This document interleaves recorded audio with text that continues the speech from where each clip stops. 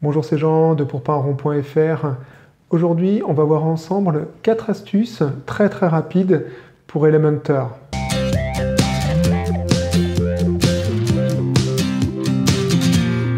Nous allons voir immédiatement comment tu vas pouvoir éclaircir ou obscurcir une image.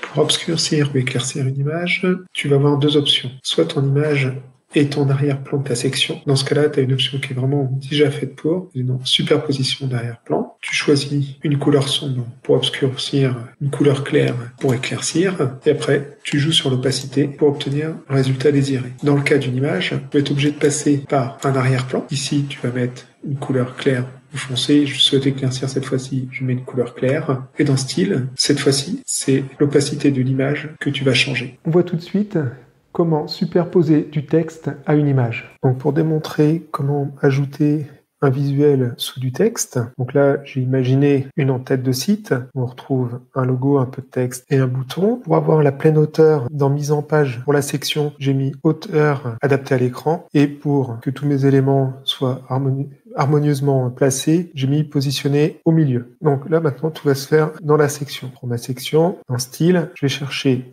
un arrière-plan, type d'arrière-plan classique, tout en sachant qu'on pourrait mettre un dégradé, une vidéo ou également un diaporama. Une de mes photos, je l'insère. Voilà, ça y est, on a le texte qui est superposé. On pourrait également, donc là, on va dire que je souhaite pas que le fond soit répété. La position, je vais le centrer et en taille, je vais demander contenir, demander couvrir. Et le fichier joint, on pourrait par exemple dire que je veux du défilement, mais aussi le mettre en fixe pour avoir un effet parallaxe. Maintenant, le logo se voit bien quelle est la position. Par contre, sur le texte, c'est pas terrible. À ce moment-là, on sélectionne toute la section. Dans style, on va mettre un, arrière-plan. Dans ce cas-là, une couleur, on mettre du blanc très légèrement transparent. Voilà. Par contre, maintenant, tu vois qu'on a ajouté cette colonne-là, ça serait bien d'ajouter des marges. Ici, on souhaite qu'elles soient réparties de manière équilibrée. Donc là, on va le faire dans marge interne. Voilà, donc ça te permet quand même d'avoir quelque chose d'un peu plus harmonieux. Voici ce que ça donne sur la page. Comme toujours, tu vérifies ce que ça donne en mobile. Les deux colonnes sont bien superposées. Là, comme tu vois, c'est pas super élégant. Tu reprends juste cette section-là. Et donc là, tu vas rajouter une marge autour de ton élément mais uniquement sur mobile. ça va te permettre quand même d'avoir un résultat plus propre et tu peux même le détacher un tout petit peu du logo en essayant d'avoir une à jour. Voici le résultat. Je te montre les réglages à effectuer pour avoir un effet de défilement, autrement dit du parallaxe, sur ton site. Pour obtenir un effet de défilement, le plus sympa effectivement, c'est d'avoir un peu de texte dessus. Donc tu prends un titre ici, tu sélectionnes ta section. En hauteur, tu vas la mettre adaptée à l'écran. Ça veut dire qu'elle va être là plus grande possible en fonction de l'écran de, l'utilisateur. Et maintenant, ce que tu vas faire dans Style, tu vas lui mettre un arrière-plan classique, une image. Alors, t'en prends quand même une qui soit suffisamment grande. Le mieux, par exemple ici, ça va être de la centrer. Et là, tu vois, mon image, elle est fixe. Maintenant, dans Fichier joint, tu vas mettre fixe.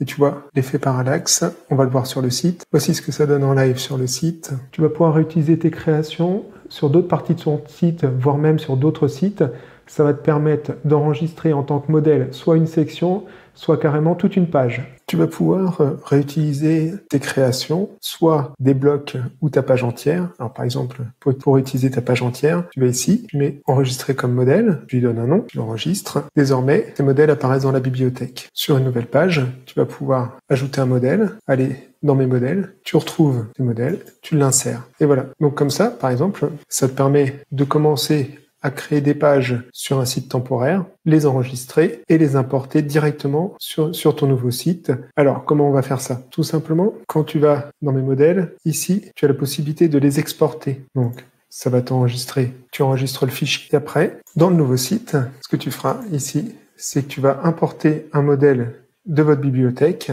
tu glisses le fichier que tu as enregistré et maintenant le fichier est disponible dans, tes modèles. Tu peux réaliser exactement la même chose. Par exemple, tu veux réutiliser systématiquement un même modèle que tu viens de réaliser. Donc là, tu le fais sur la section. Ici, tu peux faire enregistrer comme un modèle sur la section de la même manière.